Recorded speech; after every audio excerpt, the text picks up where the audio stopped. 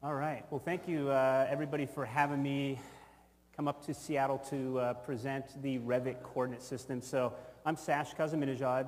I'm a uh, licensed architect actually out of the state of California, and, uh, but I live in Portland, Oregon. Uh, so on my end, I'm a uh, application specialist, and so one of the things that I do is train and support Autodesk products. Most of my focus is on the Revit side of things. Uh, the reason why I wanted to do this presentation on the coordinate system today was we tend to get a lot of tech support calls and emails on my models do not align. And I think we've all probably run into that at some point in time. And so I was like, you know what? I'm going to do a presentation on this. So I've done this presentation before uh, in the Bay Area to a few of the Revit user groups out there. And then I like to come up to Seattle uh, to our office to uh, to visit you know, customers and also teach courses, and I said I'm going to do this out here as well. So thanks again for having me.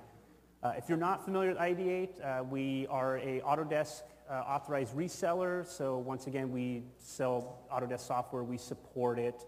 We also develop uh, software solutions for Revit. So if you're not familiar with our software, uh, Ideate Explorer, uh, Ideate, uh, BIMLink, and Sticky, uh, come see me afterwards and I can certainly uh, talk about it as well. All right, so here's the uh, presentation description if you've read it. The reality is, uh, I think we've all been here before. Go to link models, nothing aligns, and then we realize that this is actually a bigger problem than what we anticipated. I used to be a really heavy AutoCAD user, and I was always uh, very adamant about aligning things at 000. It was just such an easy reference point, right? And I'm not going to put any blame on any disciplines or anybody, but usually you find one or two disciplines bringing in your files and then moving them and aligning them. And then the next time you give them an update, what happens? They do the same thing. And, and of course, that can definitely lead to coordination errors. There's just no doubt about it. And so you start looking like, well, what is this zero, zero point in AutoCAD and why is it so important? Well, that also translates over to Revit as well. And so I'm not going to try to PowerPoint you to death today with uh, lots of um, you know, pretty graphics. I have some pretty simple graphics. I do want to go into Revit and show you some things that will give you a little bit of food for thought. Um, and what I'm going to do, I decided that I'm going to do this. When this gets all recorded and published up on your guys' website or on your uh, YouTube channel, I'm going to create a blog post uh, for this that will reference this, and then I'll put some data sets up. We'll find a place to put them. So you can download some of these files if you want to play around with them. Um, if you want my honest opinion, the way I learn this system, and by the way, I'm not an expert at it, I still have to retrain myself every few months if I don't really play around with it. So these are great little exercise files to kind of move things around and help you out. So feel free to, to download them when they become available. All right, so what we're going to do today is we'll talk about a few of the terminologies. There's probably a lot of terminologies out there, but I'll just talk about a few of the important ones. And I'm going to talk about this whole idea of acquiring uh, coordinates and also pushing coordinates. All right, so I'll talk about some of the concepts. And this, of course, leads to what we call shared coordinates. And I'm going to tell you, you don't necessarily need to use shared coordinates. We always talk about shared coordinates, but you don't necessarily need to use them. It kind of goes back to that, hey, let's just align everything at 0, 0, 0. That's a really simple uh, reference point that everybody can reference. But if you're doing more complicated projects, and I'm going to show you some examples here, shared coordinates may be your best friend. All right? So we'll talk about that. I also talk a lot, by the way, and I drink a lot of coffee. So if I go a little over time, bear with me. You're free to leave if you need to. Uh, but if we do have some time and, and, if I'm moving at a slow pace, I'll talk about some of the uh, 2016 R2 and 2017 enhancements that they have done, including another linking position. So if you're not on Revit 2016 R2, if you're on the first shipping release, you won't have this option here. And it actually helps out quite a bit because it solves some of our linking problems. And it's called project base point to project base point. I don't consider it a cure for linking issues, but it sure helps out quite a bit if you're just trying to get a resolution on it. We won't get to resetting shared coordinates, I have a feeling, but I got some good news. If you go to our YouTube channel, I made a video that shows you how to make a Revit file that you can use to reset shared coordinates. How many of you have acquired coordinates before in a Revit model? All right, so a lot of people have done that before. And then how many of you realize maybe I want to reacquire coordinates? So you link something back in and you try to acquire it, and what happens? It says it's already been shared, right? And you're like, uh-oh. Because that's usually the first word that comes to mind. Maybe other words come to mind uh, as well. You know what I'm saying, right? Because you're like, oh no, okay. The good news is, if you follow the instructions that I put together, it's a video you can watch, about eight minutes long, gives you a little bit of background you can easily reset shared coordinates for your entire project and then you can reacquire coordinates. It's really simple. So uh, definitely check that out when you get a chance. All right, so I'm going to go over a few terms and then we'll get into a little bit of a demo so you can see some stuff. So when we're talking about some of the Revit terminology, one of the ones that comes up is this, a project internal point. Unfortunately, Revit doesn't make everything so visible and so nice to see. We've probably discovered that, right? When you start off with a regular out-of-the-box template, you don't see the project base point or the survey point. And you're like, oh, there's other points, including hidden ones? Like, okay, what's up with that? Well, one of these is the internal point. And you want to consider this a fixed internal point in Revit that cannot be moved. It's actually kind of a bummer. I was talking to Travis about this earlier because, man, if I can move that point around, that will solve everybody's problems. It really would, but you can't. It's a fixed internal origin. It's the center of Revit. Then we have shared coordinates.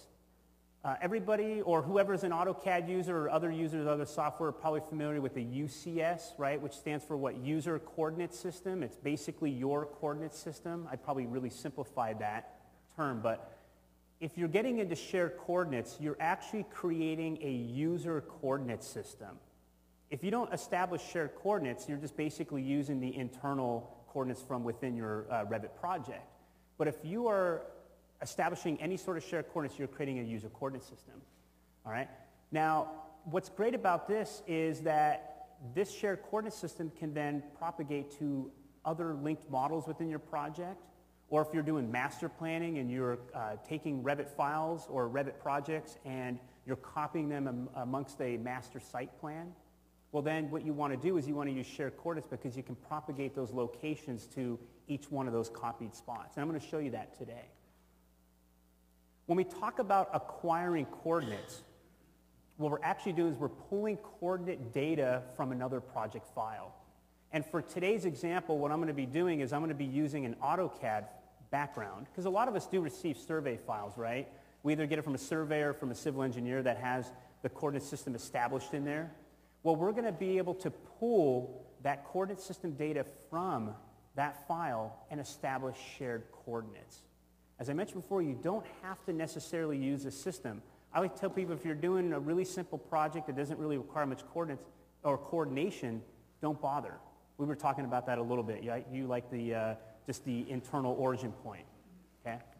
But if you're going to get a really complicated project like master, you know, a bunch of, uh, of the same buildings all over the site or a campus plan, you may want to consider using shared coordinates. So if you're acquiring coordinates, if you're acquiring coordinates from a, let's say, a CAD file or a survey file or something, how do I then get that data out to the other files so we're all on the same shared coordinate system? Well, you can push that coordinate system out to the other Revit files. That's called publish. All right? I will talk about one of the problems with published coordinates here in just a moment. All right? Okay, now the points that you can see, the project base point is one of them. All right? So this is a local coordinate point that can be used to define common elevations and coordinates. By the way, I encourage you, don't do it on your current projects right now if you want to play around. Start a fresh file, draw a box, and start messing around. Actually, I already set that up for you. I'll get it to you guys uh, later on. Start playing around with these points. Unclip them, move them around, and look what happens to the spot coordinate data. That's a nice way to really understand how this works. And I'm giving this to you as a gift. All right? Now, one of the, I will talk more about how the coordinate data um, uh, works, but it, it always reports relative to the shared coordinate point. There's a relationship between the survey point and the project base point. We're going to see that in action today. And then the survey point usually represents a known, uh-oh, that should be marker, not maker, on the site, such as a tri uh, triangulation point or a station pin, all right? So that's what these usually represent. Now, what I've found with most of these AutoCAD files that I'm bringing in when I acquire the coordinates, that survey point ends up at the 00 point, the 000 point that is, uh, from the AutoCAD file. And you'll see this in action today. Okay, let me, uh, let me start up here first with the origin point. Okay, so here's what's going on here. In this example here, I'm showing everything kind of pulled apart. So if you've ever started with a uh, blank Revit template and you went to the site plan, you'll see the project base point and the survey point stacked on top of each other. There's actually another point underneath of there, and that's the internal or origin as well. All right, this is the default. Okay, this is a default location. What I've done in this kind of graphic here is I pulled everything apart from each other just so we can have an understanding as to what's going on. So the origin point, all right, this origin point, and by the way, I was trying to kind of represent it similar to like the, the world coordinate point in AutoCAD. But basically this origin point is that invisible point that I was telling you about. It's the, the center of the uh, Revit environment, all right? Now, when you're linking Revit files in, because everybody here's linked Revit files before, right? When you're linking Revit files in, one of your options is to link it origin to origin, okay? Well, what happens is when you bring it in origin to origin, it's actually aligning the origin point from the linked file to the origin point of the base file that you're bringing it into, all right? So you got to keep that in mind. This is the part I think that starts getting confusing for people that are especially new to Revit or don't quite understand the coordinate system. And I'm going to demonstrate this here for you later, all right? So the origin point is also known as like the origin to origin point and also the startup location. You, is anybody here familiar with the startup location? All right, I got a couple hands. Well, you're going to all be familiar with the startup location today. So I'm going to show you what that is. It's kind of a weird terminology. You probably found out that some of the Revit terms that they use are inconsistent. All right, and actually, even in this uh, nature here, we'll see that there's some inconsistencies as well. Okay. Um, yeah, okay, so we'll talk about the shared coordinate point. I don't know, maybe you can argue this isn't a point. I don't really know. I'm calling it a point, so I'm making that up uh, at this point. Uh, but this is also not visible as well, and I'll show you why I'm considering this a reference point as well. All right? It's similar to the user coordinate system in AutoCAD, right? We were just talking about a UCS versus a WUCS, so the WUCS is the world coordinate system. Okay? The I have to say the survey point is typically referenced at this point as well. So the survey point is this triangle. When you acquire coordinates from a CAD file, a lot of times these two points are in alignment with each other, whether you want to argue this is a point or not. And I'm going to show you this. This is also a point of reference when using shared coordinates and exporting CAD files based on the shared coordinate system basis. You ever went to export a CAD file and you see project internal and shared as the coordinate system basis? Very important to understand that. I learned that the hard way years ago working on a project and uh, we exported out some CAD files to send back to the surveyors so they can go stake out on site. Luckily, we had a grove of trees because the staking went out into the trees and we found out that we didn't have our coordinate system established. So we had to go back and learn about shared coordinates. And this was back in Revit 9.1 where they didn't show you anything. And you're just like, where am I in this whole system, you know, this whole vast system that we live in? That was a little bit trickier. When they introduced the, the icons here, this really helped out uh, significantly. All right, so I'll come back and talk about this in a bit. The survey point is a known point to a surveyor, so we did kind of talk about the survey points. And you could probably walk around Seattle and look uh, in the ground, you can see the, uh, the markers that are cast in the sidewalk, right? We have a lot of those in Portland as well. Uh, what I did, what I'm noting here is that I unclipped this point. Did you know there's paper clips in Revit? There are paper clips and pins and padlocks, right? Uh, I can't connect the box apparently here, so I'm going to close this down. Okay, so this is unclipped and moved away from the shared coordinate point just for this illustration. Okay, the project base point is typically located at a building corner or grid intersection. How many of you follow this rule or generally follow this rule? Does anybody have a rule for that? All right. Maybe you will after this. Who uh, here uses like BIM execution plans? All right, and of those that raise their hands, are you talking about the Revit coordinate system at all in your BIM execution plans? If you're not, you should. And my rule is do not draw anything in Revit until you get a coordinate system basis at least established. Now, I'm not saying you have to have a survey file in your possession.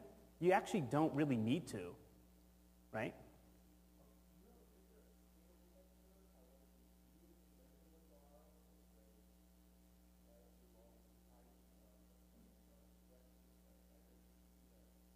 Oh, on the points themselves?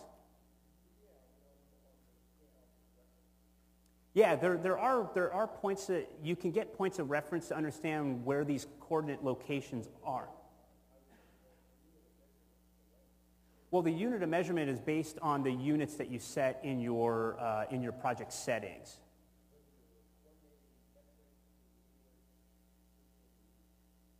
Yep.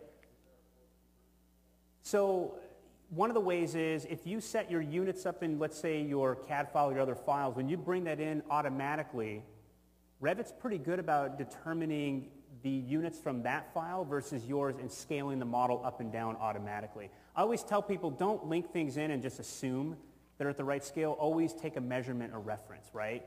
It's easy to assume now, but the, when you link things in by the auto feature, it's usually pretty good about bringing that stuff in at the right scale factor. So yes, there absolutely is. And that's all in the link dialog box. You can set that there. Okay? Now, here's what I learned by talking to customers and even from my own experience. Many people confuse this point as the origin to origin point. And that is actually not true. Okay?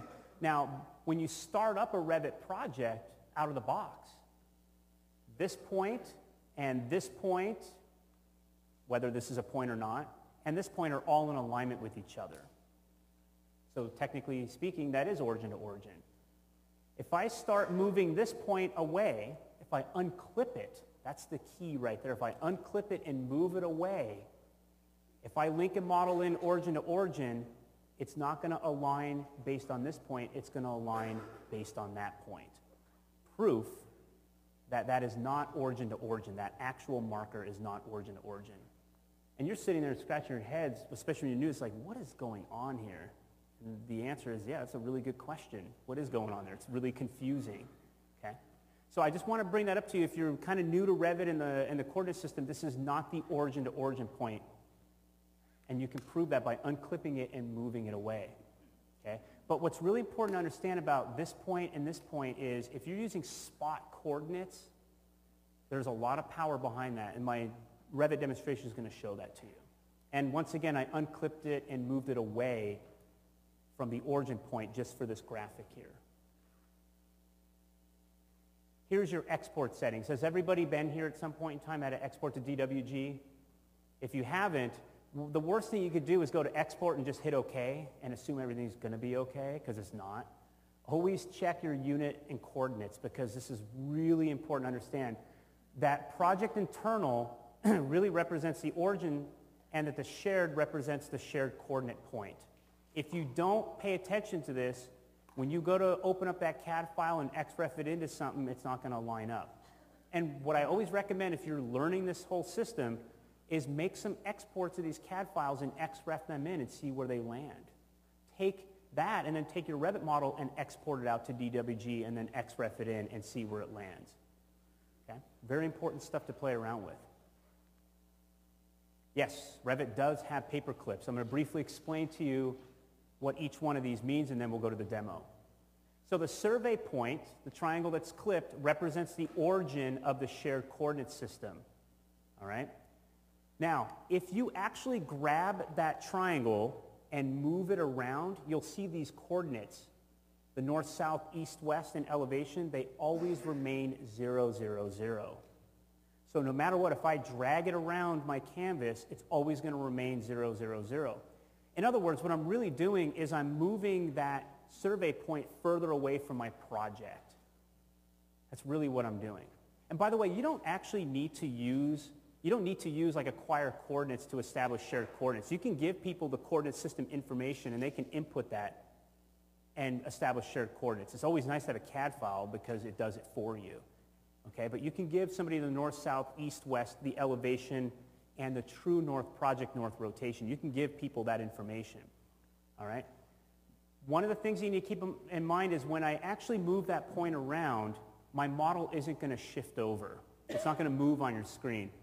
How many of you have taken the round project base point and moved it around? It's fun, right? And you notice that your whole model moves with it, right? All right? And what you can't do is quickly move it and think that it's going to trick Revit. It's not going to. It's just going to shift your project. All you're doing is you're just changing that coordinate system basis away from the survey point. That's all you're doing. It's, all you're, it's like picking up your project and moving it further away from the survey point. That's really what it's like. It is recommended that you don't just move this point around once you've established shared coordinates because you're going to make the rest of the team very unhappy. All right, so just be aware of it. Put a push pin in it. Yes?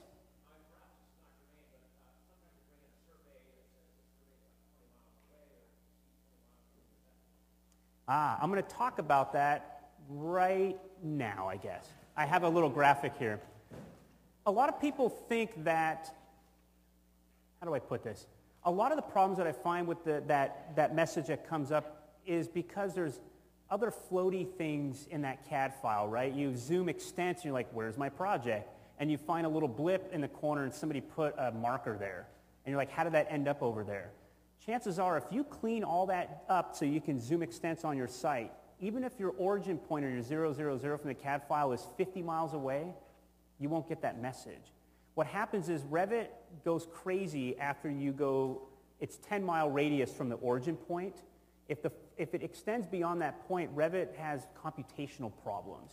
And let me tell you something, if you ignore that, you may be very unhappy with the results. You'll end up with graphical problems. Okay, you'll end up with graphical problems. So chances are you may need to go back and clean up some of the extra stuff. Now, if you're bringing in a site that's 30 miles long, gosh, I hope you're not. Because why would you in Revit? That's going to be a problem because it's going to be further away from the origin point. But chances are that message is because you have too much stuff beyond the, the, the core data and that Revit is having computational problems. And what we end up seeing are graphical issues. That's the number one problem we run into. I don't know if that helps, but we can chat more about it afterwards. Yes? What I found with those type of files is it's actually relating back to the Washington State plane for um, mortgage systems. There's been a multiple projects where that's the origin, but when you look at the civil drawings, uh, 75,000 and Yep. So the file that I have, the 000 point in this file is actually further than 20 miles away and it comes in with no problem. So check to see if you have other stuff going on. You may have to ask your surveyor for a different point if possible. I've had to do that before because I've looked for garbage and I can't find it.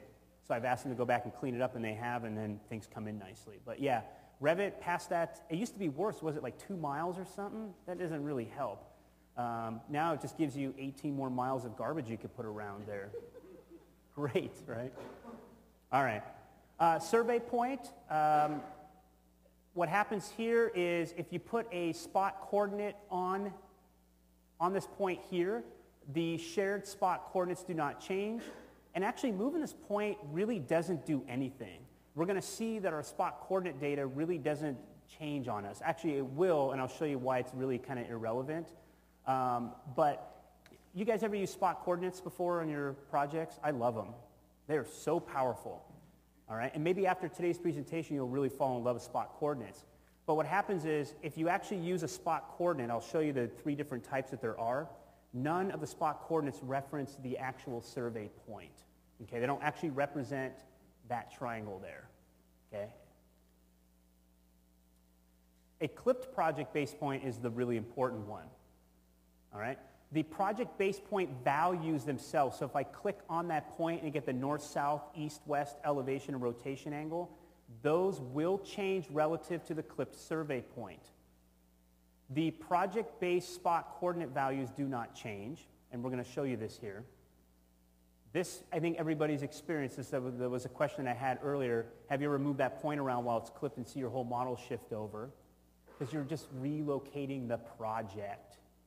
All right? If you ever use relocate this project, it's the exact same thing as clicking on there and changing the values in that point. All right? I used to use relocate project all the time, and I start, I guess I'm starting to wonder why I would do that. That may not have been a good idea. Um, oh, well, that was a long time ago. Uh, but if you go to the Manage tab, Position Relocate Project, you'll see that when, whenever you go into here and make those changes, you're just changing the values from that project base point. And finally, if you unclip it, the project base point values change relative to the clipped survey point. All right? So if you unclip this and move this around, it references that. All right? Model elements won't shift. And I don't believe it's a crime to unclip and move the project base point. All right? Nothing wrong with that. I try to avoid it if I can, but when customers didn't use origin origin and they don't want to set up shared coordinates, if they all have different project base point locations, they're all going to get different spot coordinate dimensions. You may want to unclip at that point and move your project base point so everybody's on the same location so that if you are going to use spot coordinates, things will actually align. Okay? So I don't think it's a crime. So what I'm going to do here is I'm going to show you a file that I put together. I mentioned before, you guys are free to download it when, when we publish it. But I want to show you, um, I want to show you a file that I kind of put together here. I'll just give you a little bit of background on it uh, right now. So what I've done here is I've drawn a couple just uh, drafted lines here and I pinned them and then of course I made sure I, um, I, uh, I can't select pinned elements. That way I don't accidentally move things around because I have a tendency to hold on to the mouse and drag things around. It's just kind of how things are. What I've done here is this is the representation point of the origin point and the survey point and the internal point. So this is basically the starting location of Revit when you start a new project. Okay? And then what I went ahead and did is I went ahead and I just drew a couple grid lines here and put the corner of my building here. Now, normally, I probably wouldn't actually do this if I was working on a project. I would put the corner of my building at the project base point location. But for this demonstration, I don't want to confuse people with, uh, with graphics. There are three spot coordinate location types in Revit. And I believe the way they're named can be a little confusing. So what I did is I put the prefix of the name in each one of those so you guys can kind of see what's going on. One is called shared. And if I go to the edit type properties here and have a look at it, what I wanted to show you is that the shared represents the actual survey point. But I don't agree with that. That's why I called it shared instead of survey. Because if I unclip the survey point and move it away, it doesn't follow that triangular survey point. It stays where the uh, shared point is. So that's why I don't agree with the naming convention on this. All right? But this one's based off of this coordinate system basis. The relative one, if I go to edit type and have a look at it, the relative one, I do believe because it's based on relative. Okay, that's the coordinate system basis. And the relative really represents the internal origin point, that point that you can't move around. Okay, that's the Revit internal origin point. And then finally, the project base point, right here, this one represents the project base point. Okay? So we're talking about the circular point. So let's do some damage. All right? So this one, these three points are based on the building corner. I'm picking the bottom corner of the building as my reference. These three represent the actual survey point. And then these three actually represent the project base point. We good so far? All right, so let's take a quick look here. I, did, I went ahead and I put a 10 uh, by 10 dimensions here. So if I look at the building corner, it's 10 feet in both the north and east direction, and it's referencing from this point. Relative, it's also 10 by 10, because that's the internal origin point. And then by a project base point, or the circular point in this case, it's also 10 by 10. So this is pretty straightforward. If you look over here, the project base point, the relative, and the shared are all at 0, 0 right now. Okay, so that's pretty straightforward because we're starting off at Revit's internal origin. And if I look over here, based on the survey point, I'm also at 0, 0, 0. Well, let's have some fun, shall we? And I'm not going to use relocate this project for this feature. Instead, what I'm going to do is I'm going to go ahead and I'm going to click on the project base point right over here, and I'm going to change this by 10 feet in the north-south direction. So I'm going to come over here and change it to 10 feet, like so, And let's take a quick look and see what's happened now. I left it clipped, which means I'm not disassociating it from Revit's internal origin. That's a key thing. If you can avoid doing that, I'd say that's pretty darn good, okay? If you can keep it there and not unclip it and have them move it around, if everybody can get their coordination done early on in a project instead of, oh, you know what, we're at like 80% CDs and we need to give this to our contractor, nothing lines up. Has anybody ever experienced that? Every, no, right? Everything's worked perfectly for you. Absolutely. So get it at like 0% schematic design or maybe even before that. That's a good time to get this established if you can. So let me just show you what's, what's going on here. Relative to the shared coordinate point, I'm now at 20 feet. So I'm 20 feet, and by the way, I'm referencing over here. I'm 20 feet from here to here. That's what's going on. That's what this spot coordinate represents. Okay? So if you wanted to locate your building, ready this, on like a master site plan, and you wanted to locate your building from the survey point that may be way over here, that's not a bad coordinate system basis to reference from because you're, you're referencing it from the survey point, all right? Or I guess in this case, the shared coordinate point. That's why I don't like to unclip and move that around. In terms of relative, I moved the internal origin point, maybe, I don't know if I really actually moved it, but basically I took the project base point and the internal point and took them together. And that's why it's still 10 feet. And same with the project base point, I haven't unclipped it and moved it away from Revit's internal origin, which is why it still shows 10 feet. And of course, I haven't moved the project base point around. I mean, I have, but I haven't, you know, tagged it off of that point, so it's still going to stay, say 000 from the project base point. Okay, does that make sense?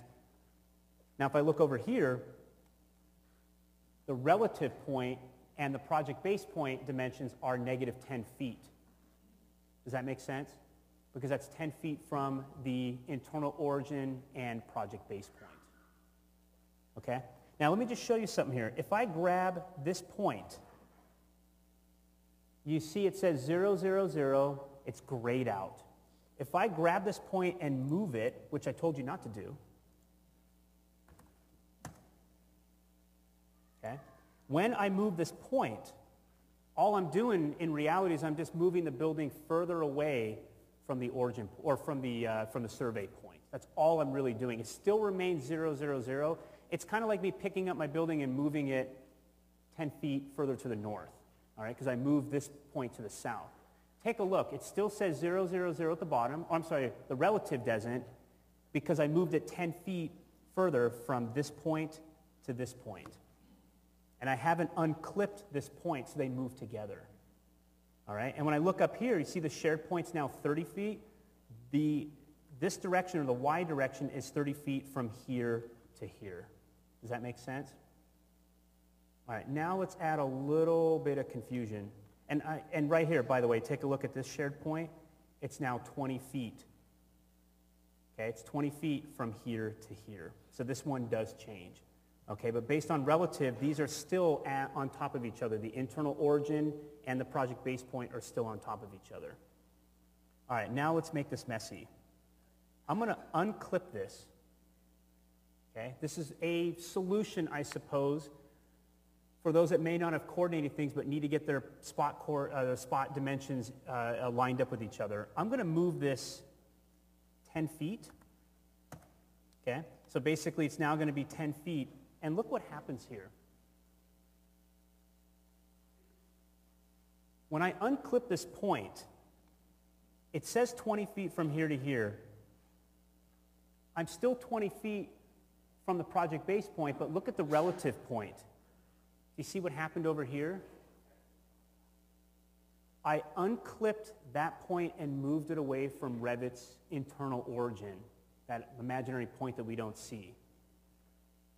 And that's what that is referencing, that imaginary origin point. That 000 that I like to call it, we were kind of talking about that earlier, that 000.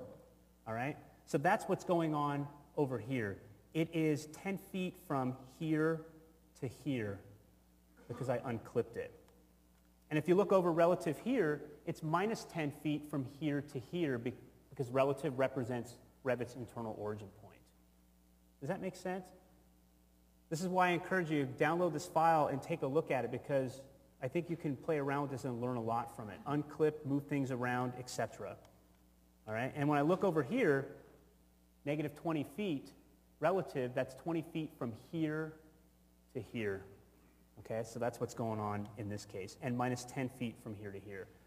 So it's very critical that in your BIM execution plans, you describe the nature of these points and the nature of how you're going to do your spot coordinates. Okay, I used to use spot coordinates all the time when I was you know, working in the profession because I can get everything pretty dead on. No issue. Revit's actually really amazing when it comes to coordinating its real world location. It's so easy to do. It's so easy to do. All right? Now let's do something else that I don't really care for, but you can unclip this. And when you unclip it, you may notice that these become active. Okay? Let me just go ahead and make this minus 5 feet.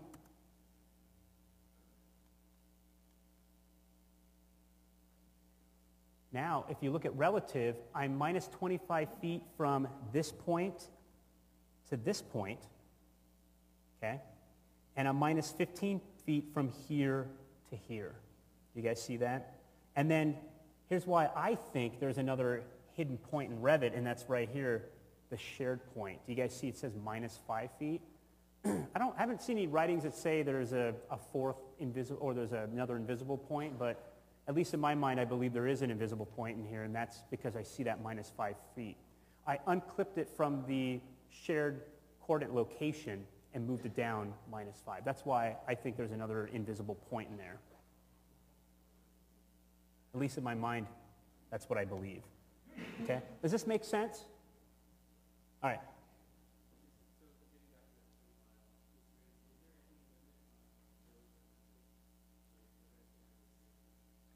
No, not that I'm aware of. It really is the 20 miles from Revit's internal origin point. So that's where you have to be careful. Right.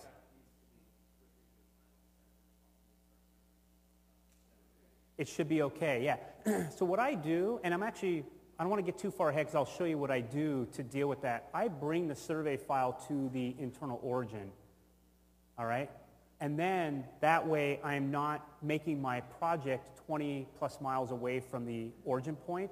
I bring the file to the internal origin. So you'll see this here in a moment because I'm going to do this as a demo next.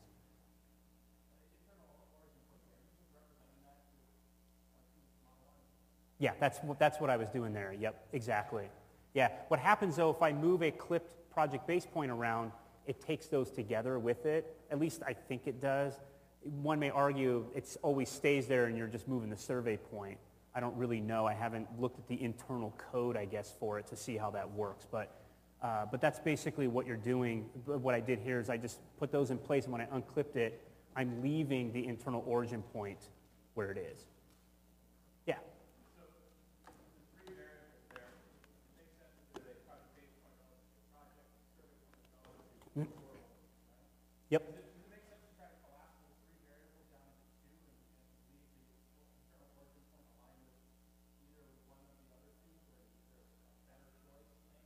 Absolutely. So I like to have the survey point be where the survey point's going to be. And then I really prefer, if people can, keep the project base point in alignment with the internal origin point. Because if you want to use a origin to origin linking, then it works out really nicely. But as soon as you unclip and move that point around, the, the project base point, that's when people go to link models like, wait a minute, I thought origin to origin was the project base point, but it's not. So yes, I'm a big fan of that if you can do that. Now, if you never coordinated that at the, the beginning, I have to say that origin to origin goes away. Okay? Has anybody ever tried figuring out how to move the origin point to a corner of a building? You can't. You can't. That's one of my feature requests. I don't know how that's going to work. Have you ever tried moving an entire building?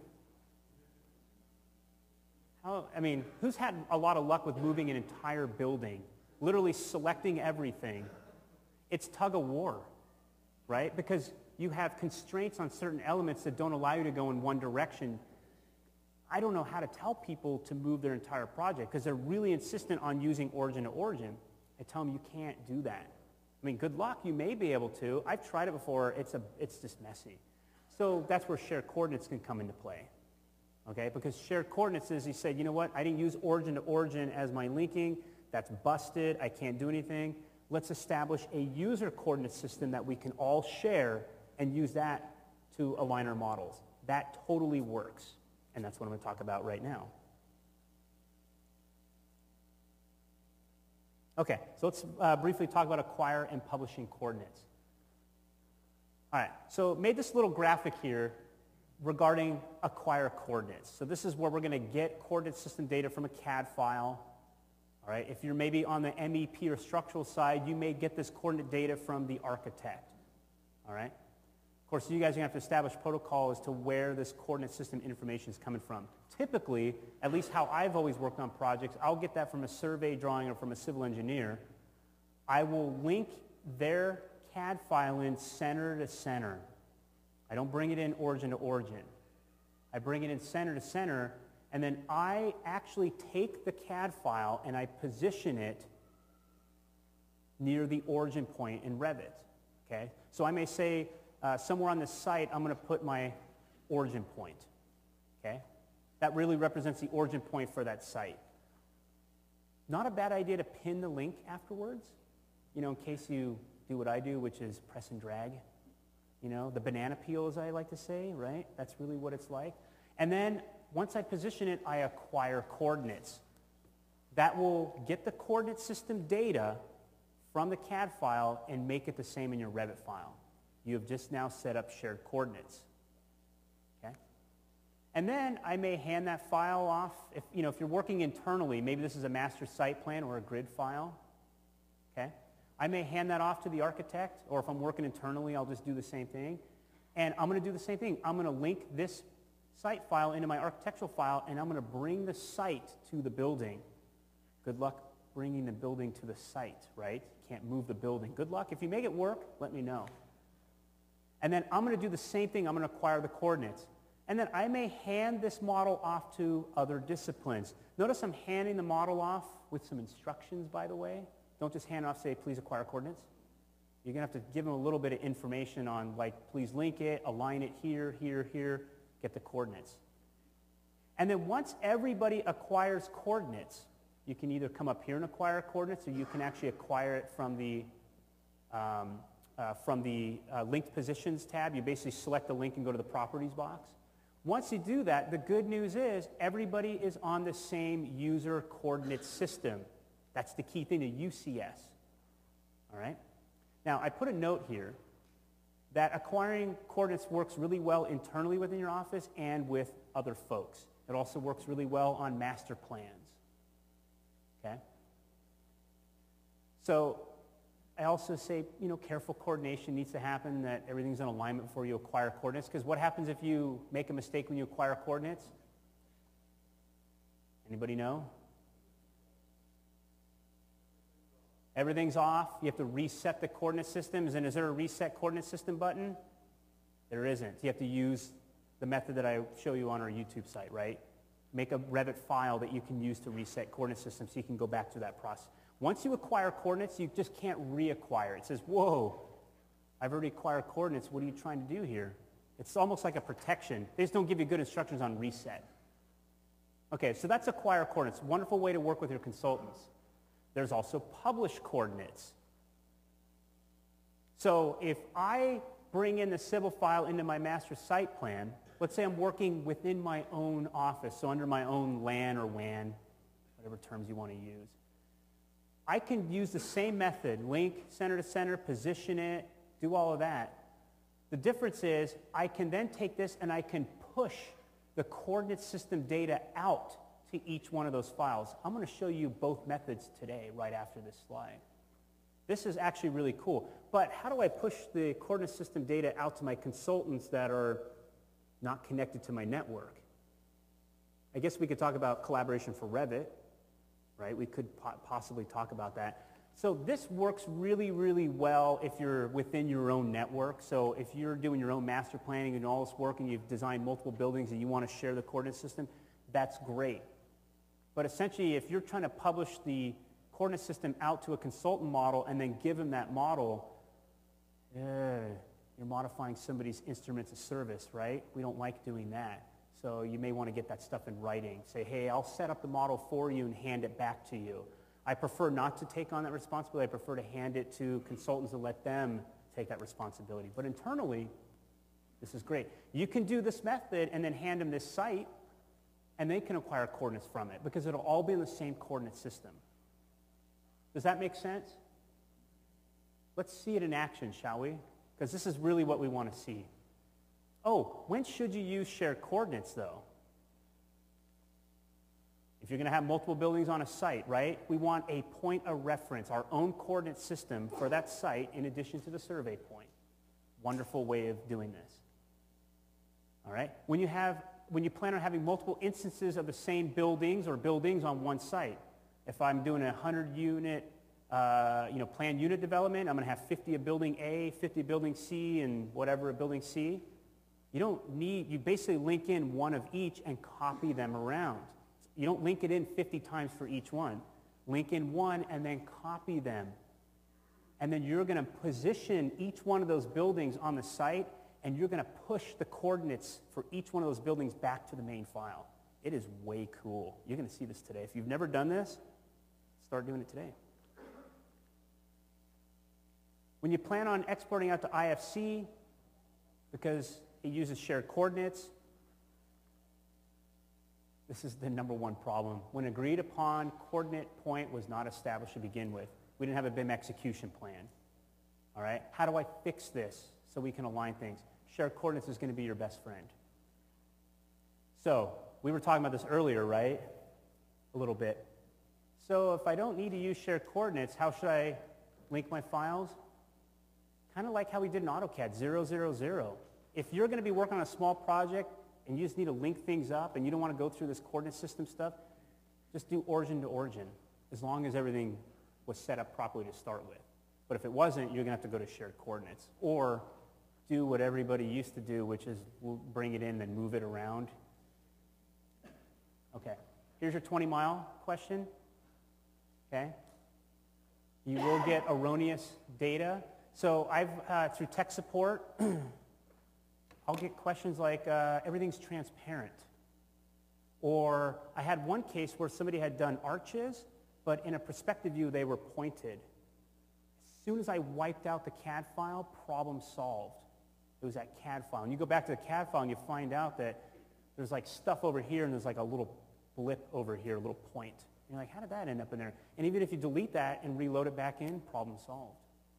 So make sure your CAD files are cleaned, purged, audited. Vet them before you bring them in. Just don't bring them in. This is so important. If you get weird graphical behavior in your Revit models, look at your AutoCAD files. Look at those links. Go back through and clean them up. This is, I cannot emphasize this enough. Okay, so let's go ahead and do this. So far, it looks like we're good on time. This is the fun one. I mean, it's all fun, right? All right I'm going to close this file out. so I'm going to start with a just a master site plan. Okay? I don't even know why I did this. I should have started with a new template because I didn't do anything special to this file. When I start off here, by the way, the site plan, the default site plan shows you the two points. They're turned off categorically. It kind of bums me out. I prefer to actually have them on so I can see where I'm at on my project, but categorically speaking, they're turned off by default on level one and level two. Your internal origin point, your survey point, your project base point, and maybe we can argue the shared coordinate point are all on, in alignment with each other. We're basically at the center of the Revit universe. Okay? What I'm going to do here is I'm going to get a hold of my civil engineer, my surveyor, and be like, hey, I need that, uh, that Revit or that AutoCAD file. I'm going to go to Insert. I'm going to pretend the Import CAD button does not exist. I'm going to go to Link CAD. Don't use Import CAD. I'm going to look at CAD links, and I'm going to bring in the survey file. Okay? Uh, one of the things I wanted to point out, this feature right here, great if you ask me except for survey files. I don't want to take a property line that's down to the exact degree, minute, and second and straighten it out a little bit. So I'm going to go ahead and remove that. You will still get line. Yeah. I don't, and I don't want to call them errors because they're warnings, right? Line is slightly off axis. That's the kind of stuff you may get. It's not an error, right? It's a warning just saying, why would you want to draw something just slightly off? And the, the answer is really like, yeah, good point. People tend to forget that with, with Revit because in AutoCAD you can draw anything however you feel like, right? We can get down to the ten thousandths of an inch. But in Revit, why would we do that in an architectural or on a, an MEP structure? We're not going to get down to that fine level of detail. And I do presentations on warnings. I do talk about warnings and how they pile up. I call that a low-level warning. Um, it's more of an, it's an irritating warning. I like to deal with the bigger warnings like calculation problems or redundancy. So in this case, I tend to kind of ignore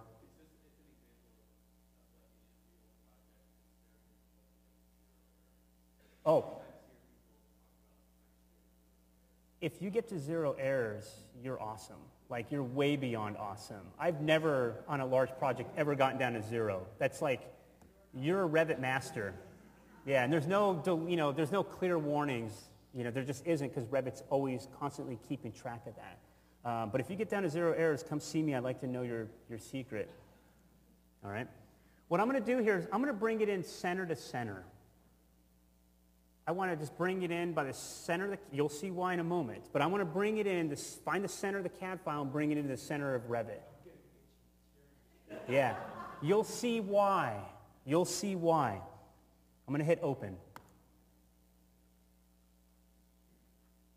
All right, so there we are, center to center. And I brought it in at level one, meaning if I come to the 3D view and I go to uh, reveal hidden elements, it's down at the zero plane right? So this, this file here has all the flat, you know, kind of road work done at the zero elevation and the topography is up at, at whatever elevation it's at. now, if you have a project base point location, maybe that's going to represent where, um, where the, the master project base point is going to be for this site. I actually have one established over here. And if you ask me, it really doesn't matter. It's just basically a common point on the site that you can reference to.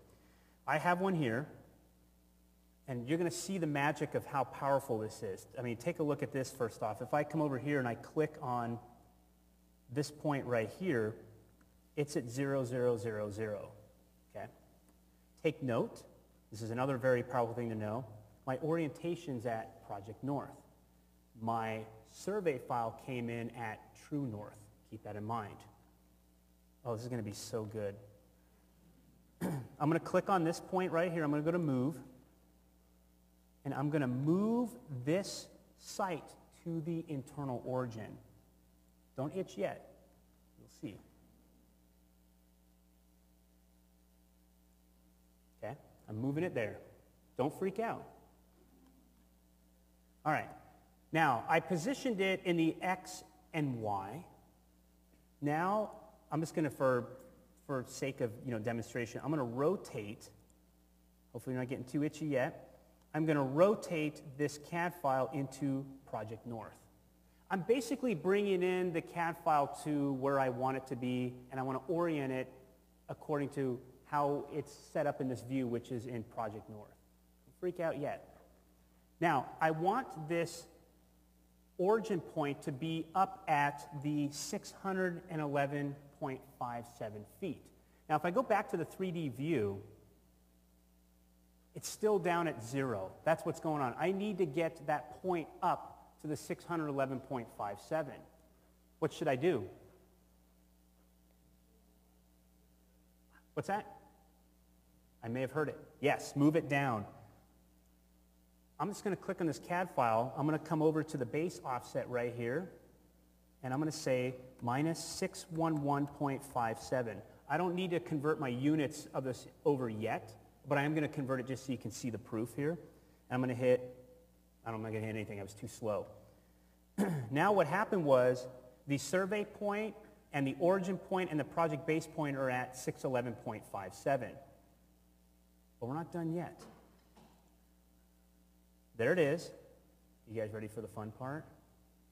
I'm going to go to Manage, Coordinates, and I'm going to acquire coordinates.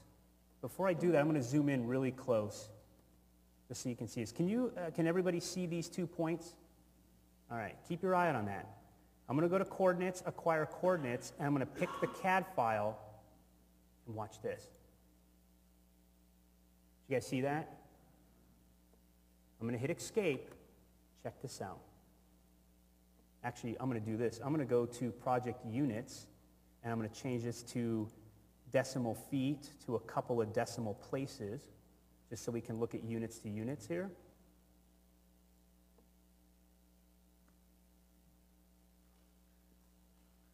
Do you guys see that right there?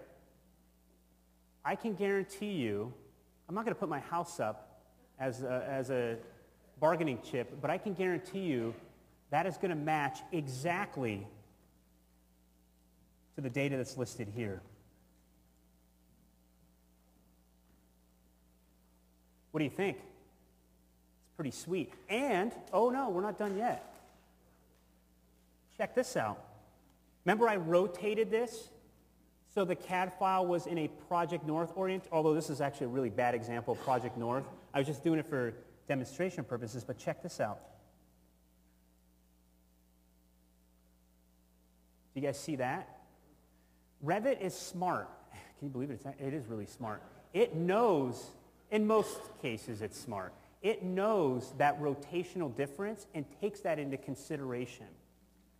I did not just bring it in origin origin because that CAD file would have been way far away from the origin point. I was going to ask you that. So in that survey file, where is the world coordinate system, civil review, or where? So that's way out. That's way, it's that 211,000 feet that we saw. That's where it is. Okay, that was the, the coordinate point that was established by the engineer. I basically just brought this to the center of Revit and it moved.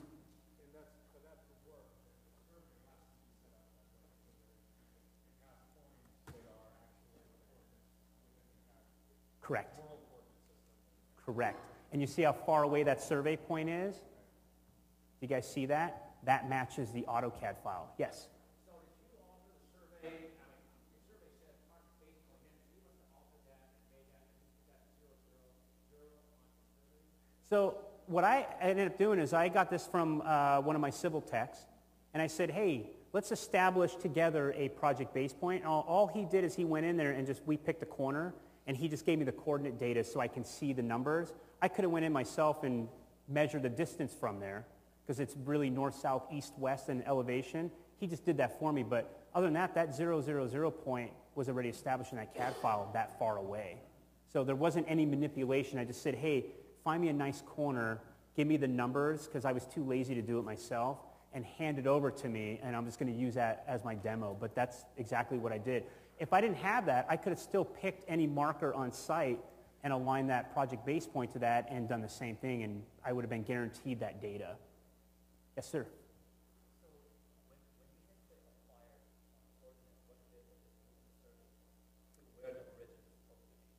Yep.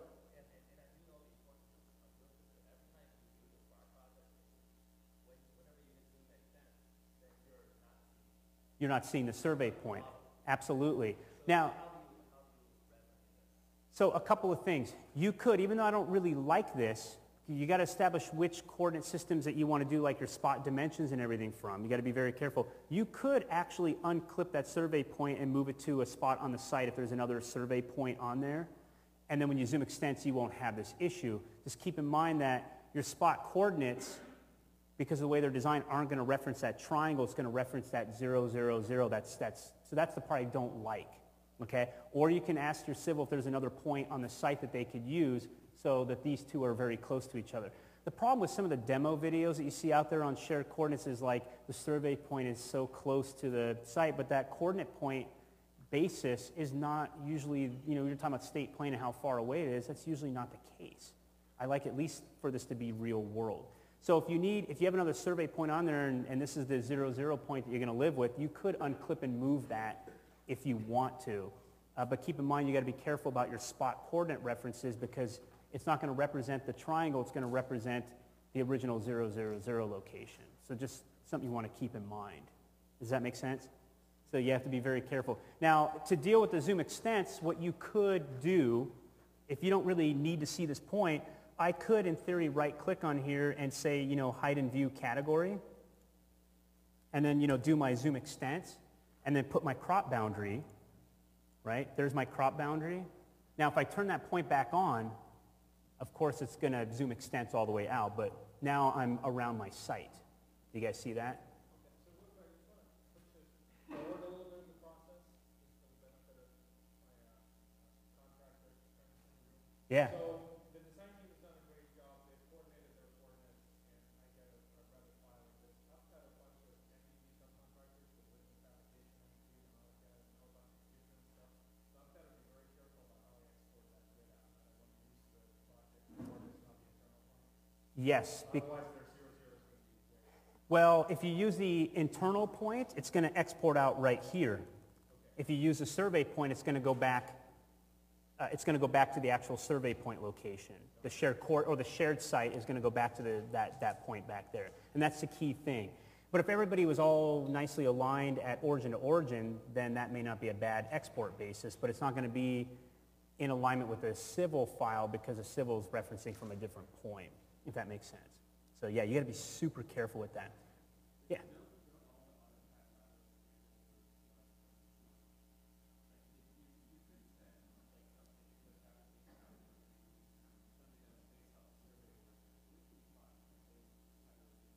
Yeah, I mean, this, this CAD file is really large numbers. I'm very far away from the origin because I, I, want, I made it so it was more than 20 miles to prove that, that I wasn't going to get that 20 mile error. I think you were talking about that earlier. Um, so yeah, it absolutely can be large. The key thing is no dirt and dust around between that 20 mile distance. Bring it in. I like to bring it in center to center, position the CAD file to my building. I bring the CAD file to my building and then I acquire coordinates. Yes?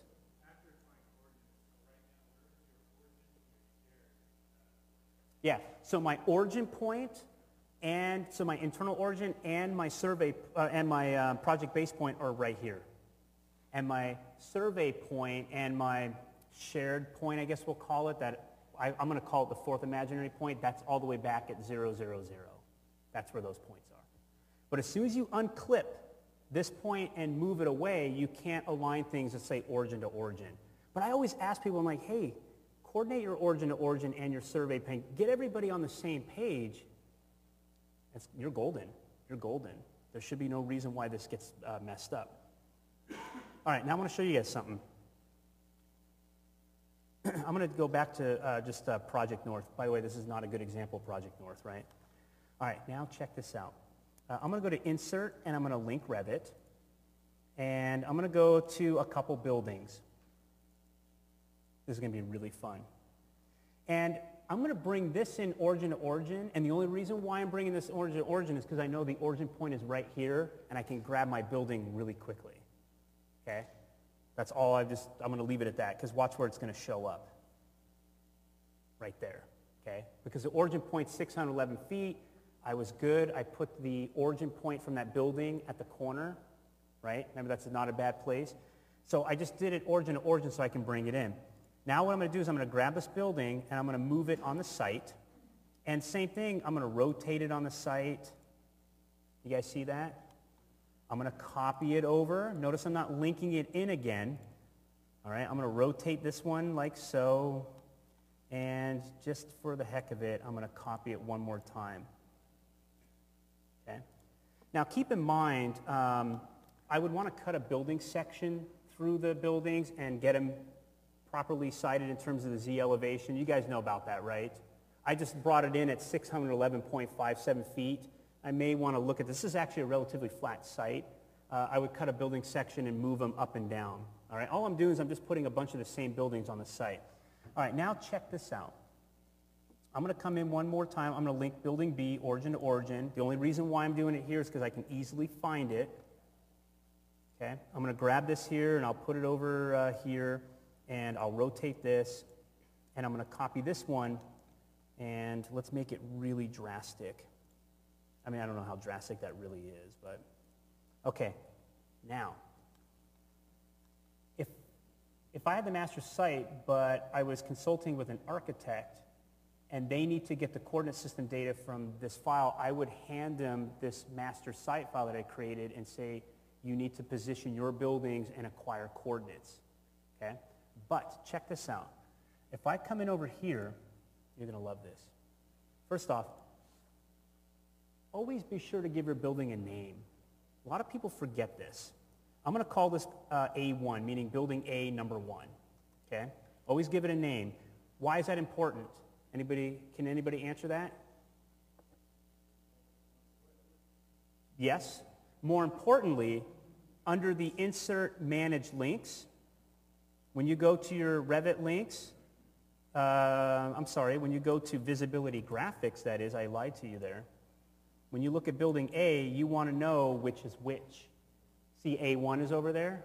Because you can manage all the building A's globally or on an individual basis. But when it's called one, two, three, you're like, what's that? So I always like tell people, take a moment. Okay, I'll call this A2, and then I'll do A3. Promise you I'll make this fast. And then I'm going to call this B1, and I'm going to call this one B2. Okay? Now watch this. I'm going to take the coordinate system data from this master site plan. I'm going to hit the save button. I'm going to take this data and push it to these buildings. I'm going to come over here by selecting the building and then selecting the shared site, and I'm going to publish the current coordinate system to that file. And I'm going to change the naming of it so we know which is which. So if you have deed data, if you know where the project's going to be located and you don't know the name of the building or anything like that, give it the property information. Is it an address? Give it something that you can easily identify. I'm going to change it, and then what I'm going to do is I'm going to duplicate the internal coordinate system from here, and I'm going to duplicate this one. I'm going to call this building A1. Building A1. And I'm going to copy this to clipboard. Okay? I'm going to make that building A1. I'm going to hit OK. I'll hit the reconcile button. I'm going to come over here. I'm going to, uh, I'm going to record this. I'm sorry, I'm going to, yeah, record this, but change the name because I don't want to overwrite building A1 with this new A1. With this A2, I want to give it an A2 position. If you do that, you're going to make this the A1 position. I'll come over to change. I'm going to duplicate this. I'll call it A2. Hit OK.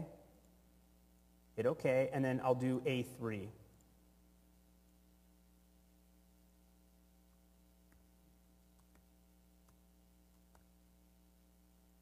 Okay? A1, A2, A3. Those are all been recorded. Notice here when I click this one, it says A2, and when I click on this one, it says A1. All right, and then finally, let me just do this one real quickly. Notice when I go to publish and I go to change, notice there's nothing in there that says A1, A2. That's because this is a different Revit file. Otherwise, you'll get both Revit file names. That'd be so weird. So this is a separate one. I'm going to go to duplicate here. I'll call this building B1 I'll copy this one, hit OK,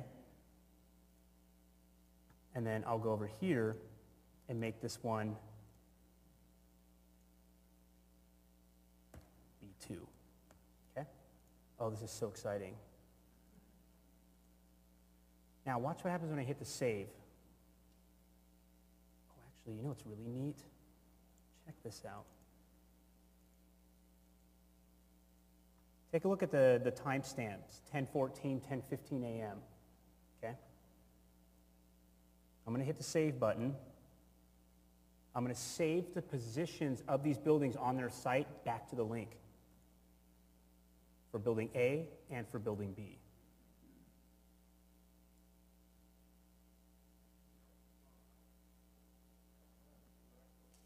Isn't that cool? Like, how does it get in there and do that? It's all magic. It's all Revit magic. It's all it is. All right, now let me show you something here. By the way, I could put topography on here. I'm not, just for the uh, sake of time. But now what I'm going to do is I'm going to go open building A. Don't open the backup file, by the way, because that data isn't published yet. I'm going to open up building A.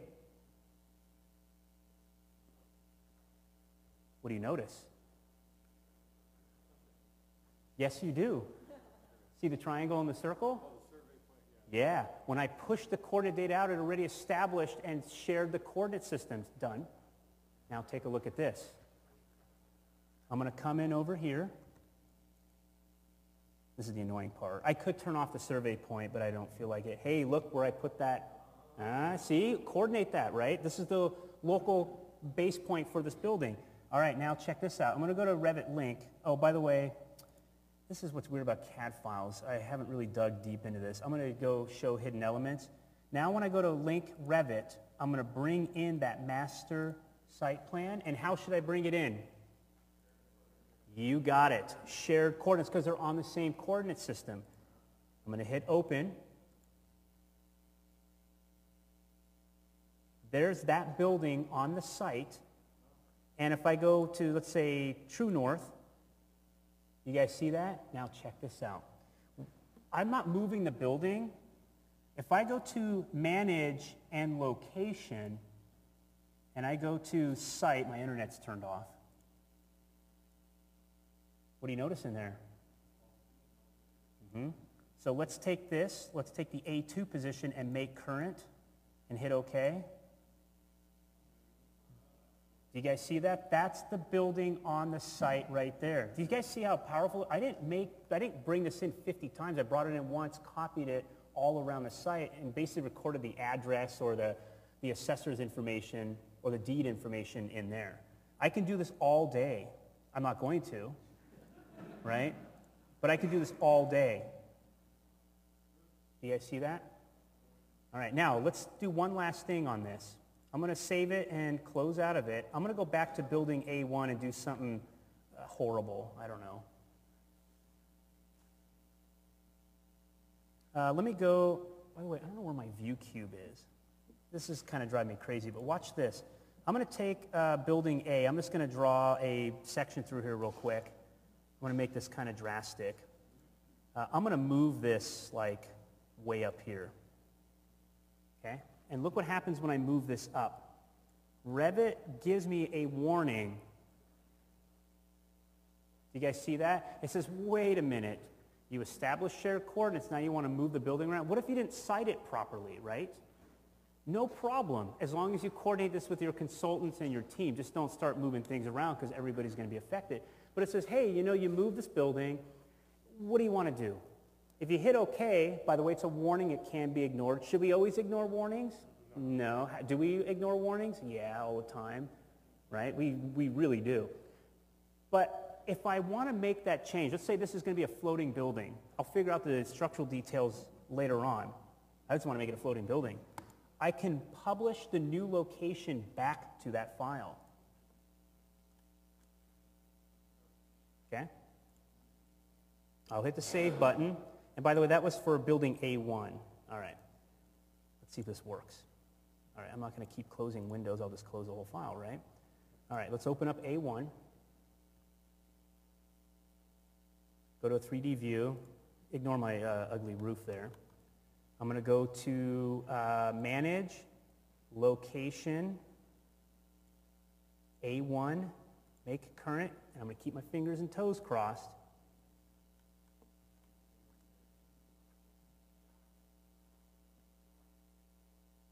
Pretty cool, right? What do you think? It's powerful stuff. I encourage you to play around with it because this is the only way you're going to really understand. You've got to play around, fight with it. I want to show you one last thing if you have a few minutes. This is a R2, 2016 R2 and um, Revit 2017 feature that has saved some of the hassle that we've run into. Uh, I'm going to open up a couple files here real quickly. This is my Project base point to Project base point demo. I'll just give you a quick background on this. This should only take a couple minutes. Uh, here is my architectural file and my project base and survey point. I haven't set up shared coordinates. I'm not going to do it for this. This is not a shared coordinates exercise. Okay? But everything's located here. We had a talk with structural, however, oops, however, we got a little confused. They put I'm not trying to blame structural folks, by the way. You know who's to blame for this, right? The architect. They didn't check everything. So just, I'm not really trying to point blame here. All right, so check this out. So the architect finds out when they go to insert and they go to link a Revit and they bring in the structural origin to origin. So let's say on this project we don't care about shared coordinates, okay? And you're like, well, that doesn't work. How many of you have had this problem before? Everybody should raise their hands. Raise your hands. We've all had this problem before, right? Because this is where you realize, oh no, I got to call Ideate, or I got to call my reseller and find out why this is happening. There's nothing to find out. You just didn't coordinate it. That's why I'm here today to talk to you guys about this, right? So the problem was either you set up shared coordinates. That's not a problem, by the way. It's a solution. You set up shared coordinates to deal with this, or you spend a couple of days grabbing your building and moving it. We're all laughing because, as I mentioned before, good luck with that. So the problem was that was, your real solution was either you deal with it and manually move the building, which I don't like it, but it happens, or you establish shared coordinates. But if you're not going to do shared coordinates and this thing isn't going to be overly complicated, luckily, check this out. I'm going to show you something. So if you came over to the structural file, and you're like, oh, I'll just grab this point and move it. Remember that? You're like, wait a minute. You're like, no way. Let me try this again. Good luck. It's not going to work. You actually just set up a user coordinate system, by the way, right? All right. So let me show you something here. In this example here, what you could do now is you could unclip the project base point, and then you can move it. I'm going to zoom in closely, right? I'm going to unclip it and move it over to here, where the architect told me. And then I'm going to clip it again. That way, if I move that point, the building shifts. If you don't, you're just moving the point away from the internal origin. All right, now what I'm going to do is I'm going to save the file, close it down. I'm going to open up the uh, architectural file. Now, watch this. If I go to Insert and link Revit and bring in the structural file, let me bring it in origin to origin, right? Because you're like, oh, I fixed it. Origin point's taken care of. Here's proof that the origin point and the project base point are technically not the same points. They start off in the same location. And that's when you're like, oh, I don't understand this. It's totally true. You're like, oh, no, that's what I thought. That's why I'm here today, right? All right, I'm going to undo that. Revit's going to say, yeah, you're undoing that. But finally, and I say finally because I've wanted this for a while, if you don't have 2016 R2, I recommend you run out and get it because that helps right there, project base point to project base point. Forget origin point, survey point, forget all that. Check this out. That's what we want. That's what we want. Okay?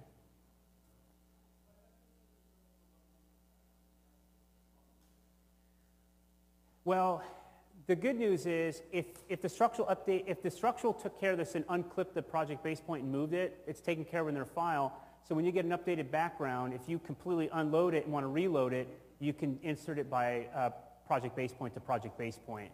And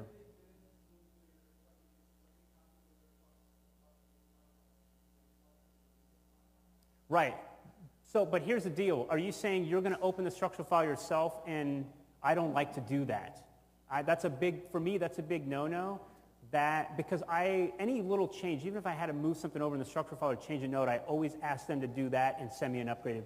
That way we don't have a coordination issue. Be, that comes down to liability, if you ask me. So I prefer to push the liability on the person that owns it, right?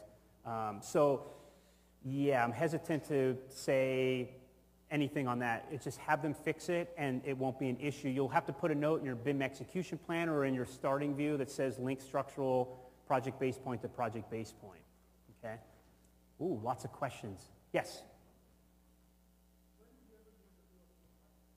A what? So the relocate project, it's the same as grabbing the project base point and moving it, clipped you're relocating the project. So, for example, one of it is like, well, maybe I need to move the project over a little bit more. Maybe we didn't site it on the site where we should have. Maybe we found out we had too much cut and fill to do. We want to put on a flatter part. That's a great example of relocating the project. You're essentially moving the project away or closer to the shared coordinate point. So that's when you, thank you. That's, that's when you would do that. Uh, yes? When you cut a building pad in topo, in topography, uh, can it ever link to the building so that when you relocate the building, the building pad will move with it? to the topography? No, because the problem is the building pad relies on the topography, so you can't have it as a separate entity uh, in the file itself. It has to be, that's why, but here's the thing, I love drawing levels. I don't know if I love this, I'm kind of lying to you. It's a lot of work. If I'm doing 100 units on a site, I'll have 100 levels for each building, and then I'll put the pad reference from that. So when you cut a section, you'll have a level and you align your building to that level. So the pads go in the master site plan. The Revit file, like that building A and building B, don't have the pad in there. But then you can link, right? You can do, I don't want to use the word circular, but you can basically link the master site in the building, and then you can link the building into the master site by shared coordinates, and then at least you have a site reference to work from. Yes?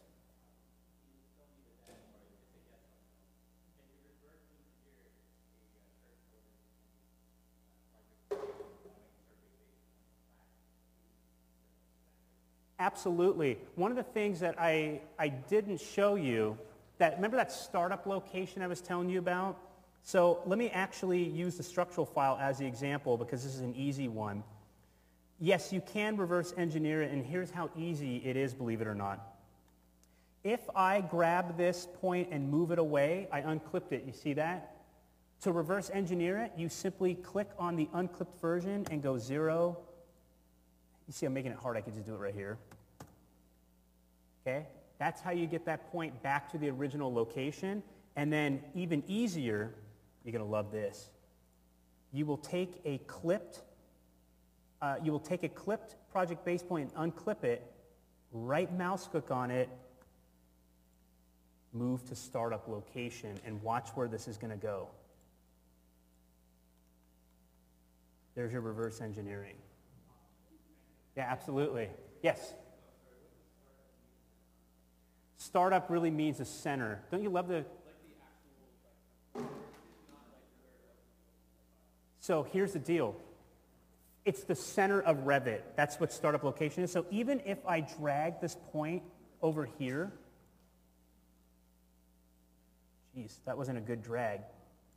Even if I drag that point there, if I unclip this and right-click and go to move to startup location, it's because I took the origin point with it, the center point. But as soon as I unclip it and orphan it, the origin point is here, the startup location. So it's the center of Revit. So if I right-click and go move the startup location, so it's the default center of, or, uh, of Revit. Okay, but when you move it clipped, when you move it clipped, it goes with it. One may argue you're not really moving the center, you're moving the, the, the shared point. I don't really know. I haven't done much research, and I, yeah, it's just not a big deal to me. But yeah, that's, that's what it is.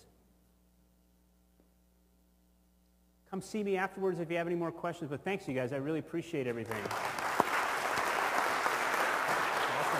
Very nice.